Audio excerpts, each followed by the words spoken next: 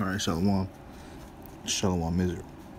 First and foremost, I want to give all praise unto Yahweh. Ba'ashem Yahushua, Ba'ashem Rakakadash. Double honor to the apostles, the elders, and the great millstone. Shalom to you, brothers, pushing this truth all over the earth. and uh, shalom to you, hopeful elect up there. I just want to just want to read this. this Romans chapter 9, man, because this this this puts when you read Romans chapter 9, man, that that puts uh uh a cut to, to a lot of stuff, man. For one, that the promises and everything goes to other nations. That God, as a word, loves everybody. That He does not. Uh, what was about to say? I just lost, just lost my train of thought. I just lost my train of thought, man. But uh we we just we just we just gonna read it, man. We just gonna read it. And I just want to touch on this. It's gonna be real quick because you realize that when people when people talk about promises and the Most High loving everybody, when you bring out Romans nine, they don't have no answer for it, man. They they, they try to ask you another question. They try to beat around the bush. They try to talk about something else, man. Get off topic. This Roman nine cuts a lot of stuff, man. Dude's just gonna read it, man. And that's, that's just gonna be it. I just want to touch on this real quick. Uh, we're gonna start at, at at uh, 1. Roman 9 and verse 1. I say the truth in Hamashiach, I lie not. My conscience also bearing me witness in the Holy Spirit that I have great heaviness and continual sorrow in my heart. For I wish that myself, it's like you, I wish myself were accursed from Hamashiach, from my brethren, my kinsmen, according to the flesh, who are Israelites. Okay, let's stop right there. So who are Israelites? Let's see what what pertains to their Israelites, because it's about to say who what uh, whom pertaineth. Let's find out.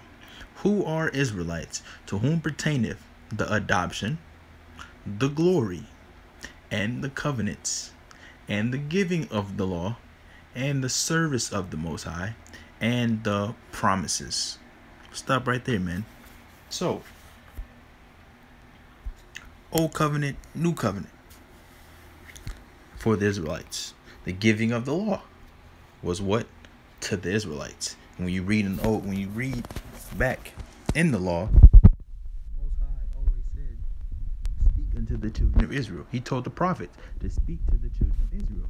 Go to the children of Israel and say this and say that. Tell them to do this. When he was speaking to Moses, he told Moses to go to the Israelites. To the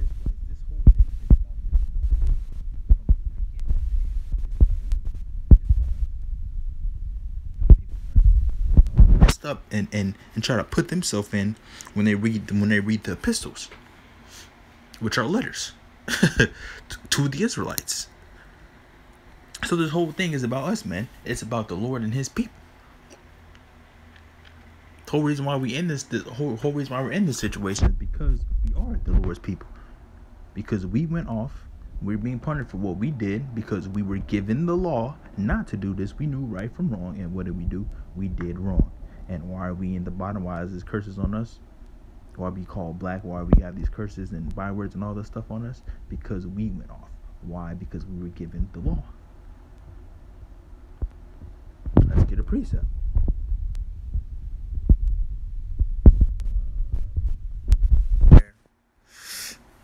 Let's get two precepts actually. Let's get this first one, Psalm 1 147. 147. Let's scroll down. And then let's get um what is it? Amos. Amos 3. It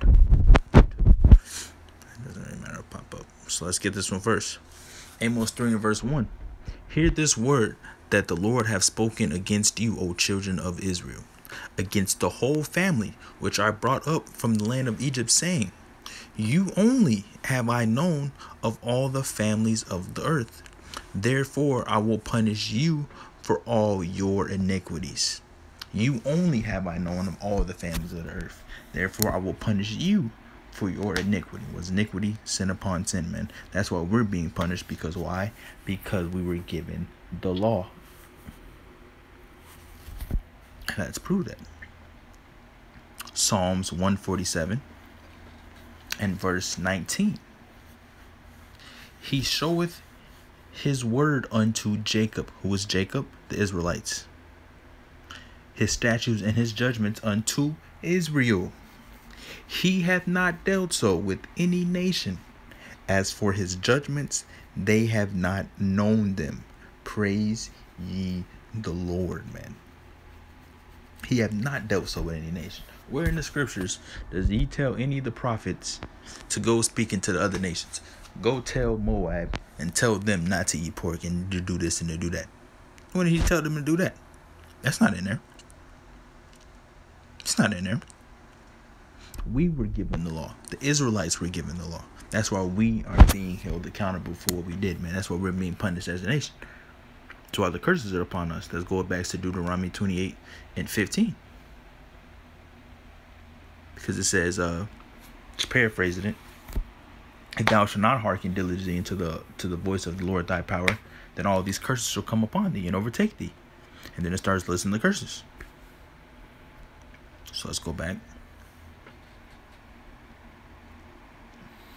Verse 5 Whose are the fathers, and whom, as concerning the flesh, Hamashiach came, who is over all, God blessed forever. Amen. Not as though the word of the Most High hath not have taken none effect, for they are not Israel which are of Israel.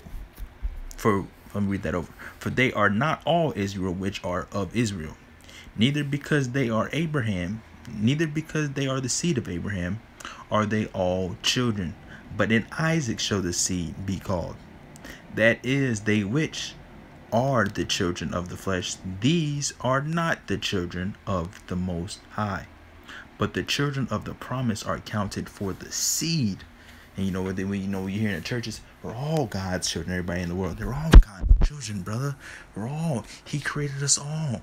We're all one. We're all one. It does not matter about your black or white, or about your skin tone, or where you came from. We're all His children. What does this just say?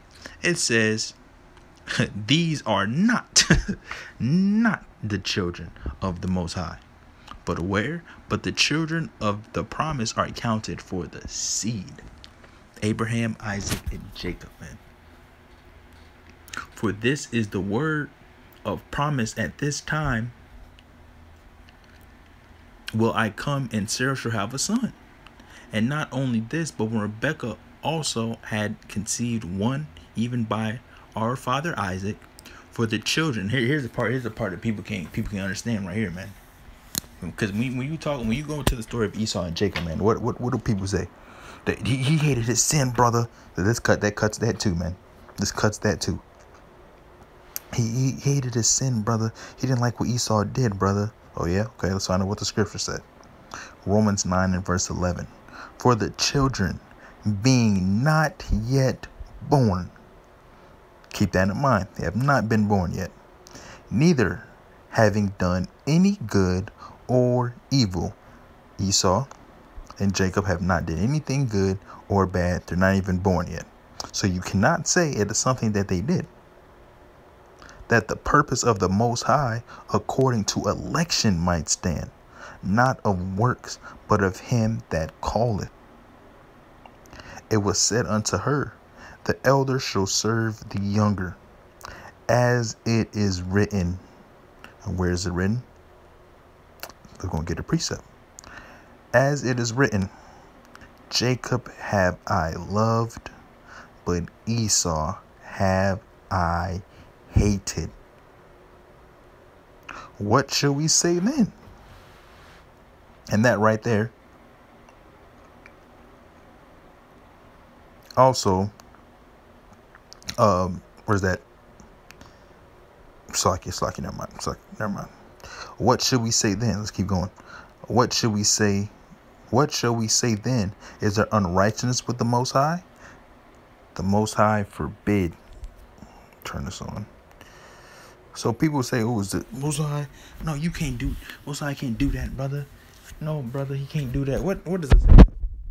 Is there unrighteousness somebody before they were born, before they were created? No. Why? Because the Most High is the Most High. He, is, he can do whatever he wants to do. This is his.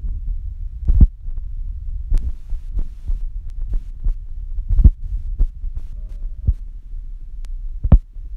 verse 18. For he saith to Moses, I will have mercy on whom I will have mercy, and I will have compassion on whom I will have compassion. Most High can have compassion and mercy on whoever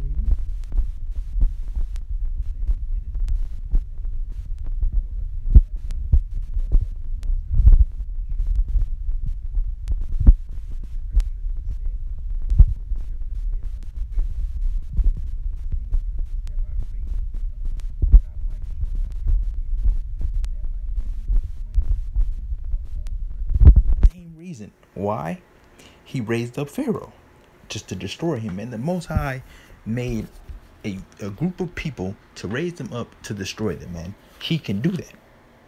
You know, oh, brother, he ain't do that, brother. He loves everybody, brother. He loves everybody. Then why did he do that?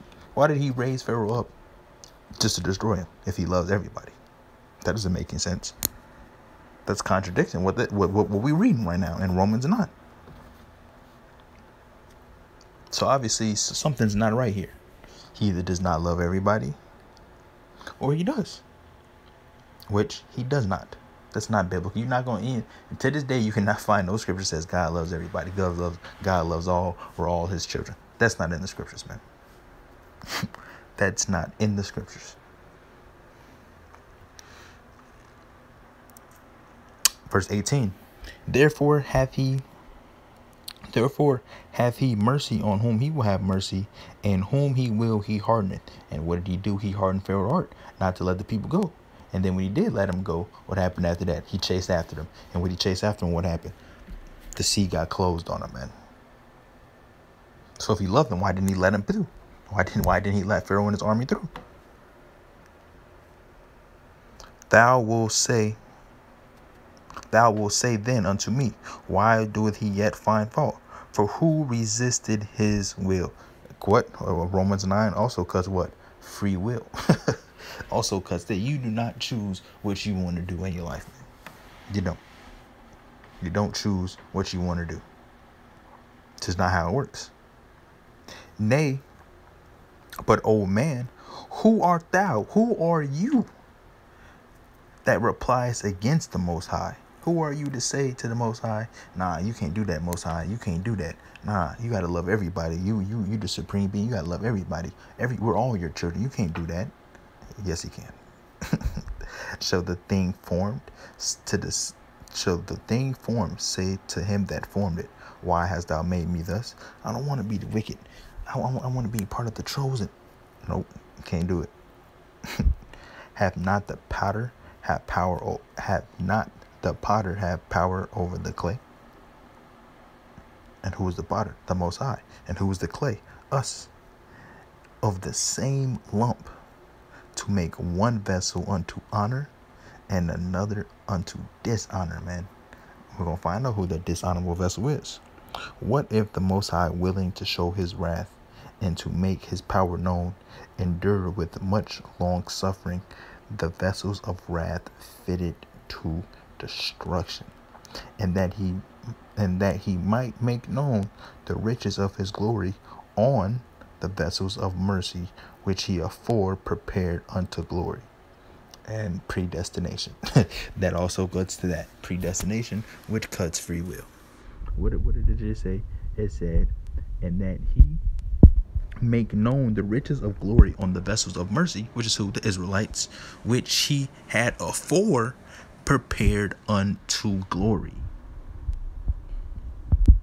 So let's get some precepts for this uh 22. Long suffering. Vessels of wrath fitted to destruction, man. Let's find out. Isaiah 34 and verse 5.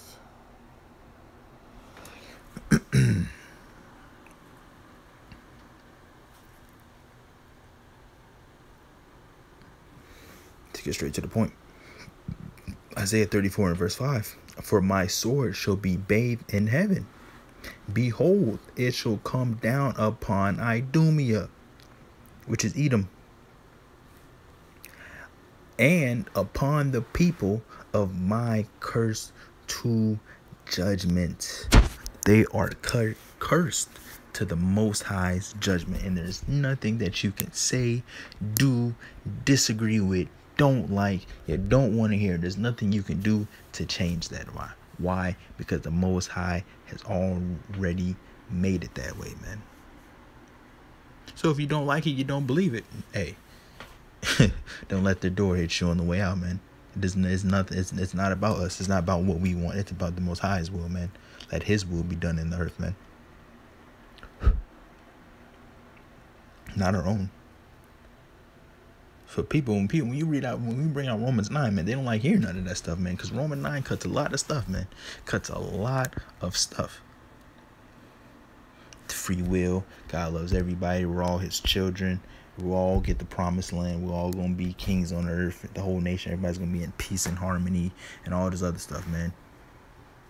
It cuts a lot of things, man. And also shows you a lot of things, man. It really shows you that the Christians don't understand the scriptures, man.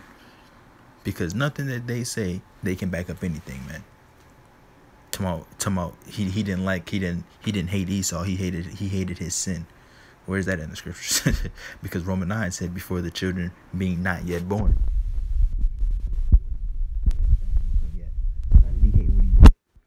they weren't born. it was already predetermined what was going to happen. Most High made them to destroy them, man. You Christians can't. You Christians can't take that, man. You you hear something like that, you got to go. Not my God. I don't serve that. I don't serve that God, brother. You you you you. What did they say? You you. That's your that's your interpretation of it, brother. You read it, cause you read it's gonna say the same exact thing of what I just read to you. Let's go back to it. The cuts, man. Cut.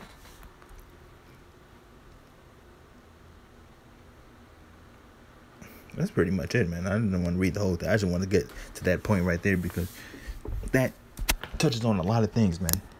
That Romans nine is that Roman nine is heavy right there, and that just goes to show that the Most High is in control, man. He does what he wants to do. I also show you that Most High didn't make no didn't make nothing that he couldn't control. Tomorrow, Satan rebelled and got some angels with him, had a meeting, and then some of them agreed with his plan, the other ones didn't, and yeah, some the fallen angel thing, and and Satan rebelled. Now he's in hell, and all yeah, all that stuff, man. All that is just fairy tale and folly. Cause ain't none of that scriptural or biblical. You cannot find none of that stuff in the scriptures, man. You know, you do find it at, you start finding them, uh, and you start dibbling, dibbling and dabbing in other books. Let's read the book of Enoch, brother. Let's read this and read that. Them itching ears, man, and then that brings you out the truth. Now, now you're bugged down, don't know what's going on. Most High raised up these people to destroy them, man. The same reason why Pharaoh got raised up in, in, in the thing in the past raised them up so he can show his power in the earth.